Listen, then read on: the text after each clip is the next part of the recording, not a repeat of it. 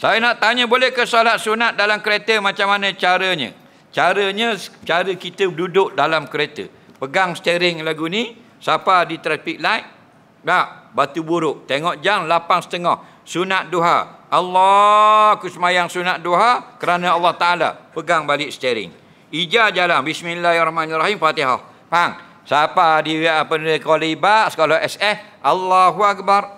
Subhana rabbiyal azim, subhana rabbiyal azim. Sami Allahu liman hamidah. Faham? Ha. Siapa di masjid kampung berhenti. Traffic light. Allahu Akbar. Sujud. Betul tak? Ha, sujud. Subhana rabbiyal a'la, subhana rabbiyal a'la tiga kali. Allahu Akbar, Rabbi fili warhamni wajibuni warfa'ni. Faham? Tak payah buah tangan sini. Bawa kereta kan? Faham? Ha. Lepas tu naik rakaat yang kedua.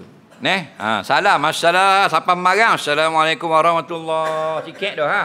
ha. Assalamualaikum warahmatullahi Biar nampak kenderaan depan. Nak, ha, jangan Assalamualaikum warahmatullahi Tengok depan tu Messi penuh depan. Pas pita dah. Nah, ha. Kena kerak kaki. Hmm.